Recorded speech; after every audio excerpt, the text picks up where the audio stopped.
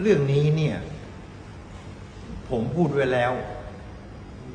ตั้งแต่เมื่อคืน และวันนี้พบชน ก็ยอมรับว่าตำรวจเป็นคนรีดไถ สาวไต้หวัน แล้วเป็นยังไง แรกๆตำรวจก็ไปใช้เพจดาวแปดแฉก บอกว่าเน็ตไอดอลชาวไต้หวัน รอหลักฐาน คดีพลิก บ้างก็อ้างว่าปกแตก ว่างว่าถูกตำรวจยัด เหตุ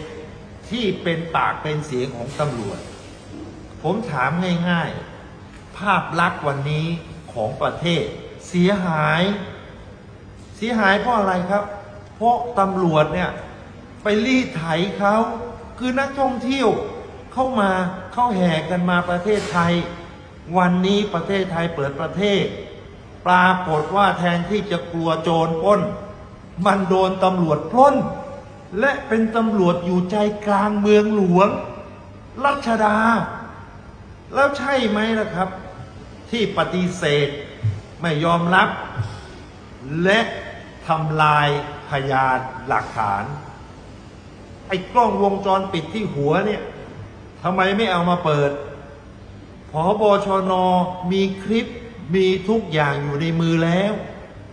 วันนี้ท่านไม่ได้ปกป้องประเทศชาติ ไม่ได้ปกป้องภาพลักษณ์การท่องเที่ยวของประเทศไทย แต่ท่านปกป้องตัวเอง ท่านทำเพื่อปกป้องตัวเองเท่านั้นหรือ วันนี้ภาพลักษณ์เสียหาย บอกว่าสาวไต้หวันเมา สาวไต้หวันนู่นนี่นั่น พยายามทำให้สังคมไม่เชื่อถือสาวไต้หวัน ทั้งๆทที่เขาพูดความจริง ถ้าวันนี้ผมเป็นผบชนผมยอมรับ และผมก็ลงโทษตำรวจ มันไม่มีอะไรที่ท่านจะต้องไปนั่งเก็บ นั่งเปลี่ยนแปลงพยานหลักฐาน และก็ไปให้นิ้ว ไอ้พวกเพจต่างๆ มาออกข่าวว่า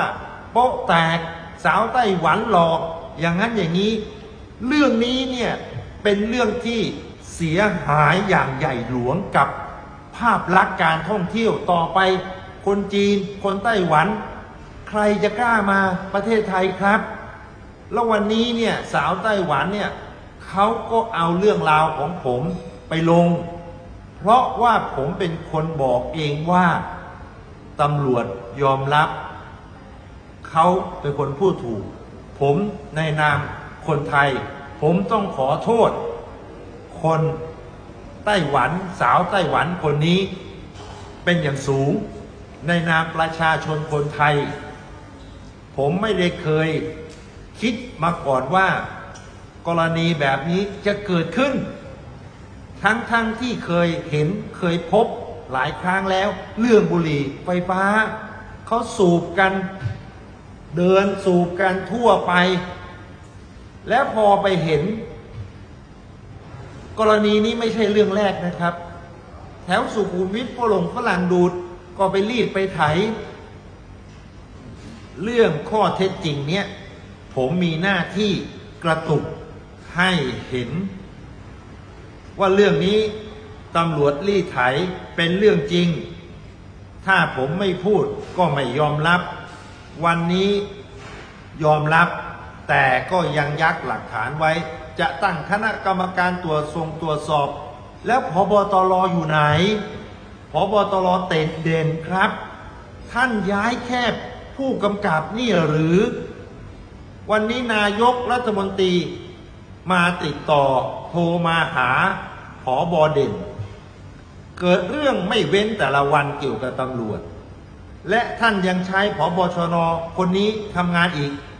ก็ยังเหมือนเดิมอีก เดี๋ยวจะเจอปัญหาอีก คือท่านไม่ยอมรับ ท่านยังทำลายพยานหลักฐาน ไอ้นี่คือข้อสำคัญ ท่านไปรีดลูกน้องไปรีดไถเขาไปตั้งด่านมันไม่มีที่ไหนในประในโลกนี้แหละครับ ตั้งด่านแล้วไปค้น คือมันต้องมีสาเหตุ คุณไม่มีสาเหตุเข้าเป็นนักท่องเที่ยว ผ่านมาคุณก็ไปลื้อไปค้นอ่าพอเจอบุหรี่ไฟฟ้า คุณก็เอาละบุหรี่ไฟฟ้า มันผิดกฎหมายต้องปรับนู่นนี่นั่น และพยานผู้หญิงคนนี้เป็นผู้หญิงไทย ท่านก็มีทำไมท่านไม่เอาออกมาล่ะครับ คลิปท่านเองก็มี ผมให้โอกาสท่านนะครับ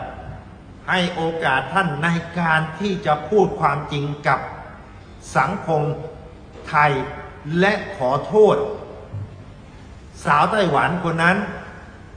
ว่าการกระทำของตำรวจสอนอห้วยขวางซึ่งเป็นลูกน้องของท่าน กระทำความผิด ไม่ใช่เฉพาะบุหรี่ไฟฟ้าที่ไปจับแล้วต้องมาตั้งหนึ่งห้าเจ็ดเรื่องนั้นมันเรื่องเล็ก เพราะท่านเห็นอยู่ทั่วไปอยู่แล้ว แต่การที่ไปรับเงินสองหมื่นเจ็ดนี่สิครับ ท่านไปรีดไปถ่ายเขาแล้วหลักฐานซึ่งอยู่บนหัวของตำรวจอะหัวตรงเนี้ยไอ้กล้องเนี้ยอ่าที่ถ่ายที่เห็นเหตุการณ์เวลาจะจับเวลาจะอะไรนิดานเนี่ยทำไมท่านไม่เอาออกมาเปิด แล้วทำไมถึงไปตกลงกับแกร็บไปบอกเขาบอกว่าสาวไต้หวันเมาแล้วถ่ายคลิปได้ยี่สิบกว่าวัน กล้องรถที่ไหนล่ะครับ ที่มันจะบันทึกได้แค่ยี่สิบกว่าวัน ความเสียหายนี้มันใหญ่หลวง และผมไม่ต้องการมีส่วนเกี่ยวข้อง ผมไม่ต้องการที่จะมาทำลายภาพลักษณ์ของประเทศ แม้ว่าเรื่องนี้ผมกับพบชนเนี่ยผมเห็นว่าท่าน ทำไม่ถูก ไม่ใช่เรื่องตู้ห่าวเรื่องเดียวเรื่องนี้ก็เอาอีกเรื่องหนึ่งแต่ผมเห็นว่าเป็นภาพลักษณ์ของประเทศ ผมจึงไม่อยากซ้ำเติม ผมให้โอกาสท่าน ในการเปิดคลิป จัดการปัญหา และผอบอตรเด่น ถ้าท่านยังไม่กล้าตัดสินใจ ความเสียหายก็จะเกิดขึ้นอีก เพราะผบอชนคนนี้ ปีชงครับ มันจะชงไปเรื่อยๆ ในปี 2566 นี่ ถ้าจะรอถึงมีนาเมษา ผมว่ามันช้าไปเสียแล้ว ท่านนายกไม่ต้องเดินสาย ไปใต้ไปที่ไหนแล้วครับ มาจากการเรื่องนี้และจะได้คะแนนเสียง ผมจึงขอเรียกร้อง ให้ผบชน ยืนยันเอาพยานหลักฐานมาเปิด และขอโทษสาวไต้หวัน คนนั้นเสีย เพื่อเรียกขวัญและกำลังใจภาพลักษณ์ของประเทศ ผมในนามประชาชนคนไทย มีหน้าที่ที่จะกระตุกให้ตำรวจรู้จักสำนึกตำรวจดีๆยังมีครับ แต่เมื่อท่านไม่ยอมรับ ผมจำเป็นต้องออกมาพูดออกมาเตือน แต่ไม่ใช่หน้าที่ของผมที่จะต้องมาแถลงข่าว ซ้ำเติมพวกท่าน วันนี้กระผมชูวิทย์กมลวิสิทธิ์ ขอทำหน้าที่ประชาชนคนไทย ผมขอโทษ สาวเน็ตไอดอลไต้หวัน ในนามประชาชนคนไทย ผมขอโทษครับ ขออภัยอย่างสูงในนามประชาชนคนไทย และผมเชื่อมั่นว่าคนไทยเรายังมีจิตใจที่รักความเป็นธรรม ผมขอให้เน็ตไอดอลสาวไต้หวัน อย่ามองประเทศไทย เป็นประเทศที่มีแต่คอร์รัปชัน ผมขอยืนยัน ว่าผมจะติดตามเรื่องนี้ และผมจะให้โอกาสผบชนในการที่จะจัดการพูดความจริงเสีย และผบตรรวมไปถึงท่านนายก จะต้องจัดการแก้ไขภาพลักษณ์ การคอร์รัปชันที่มีซ้ำแล้วซ้ำเล่าขอขอบคุณครับ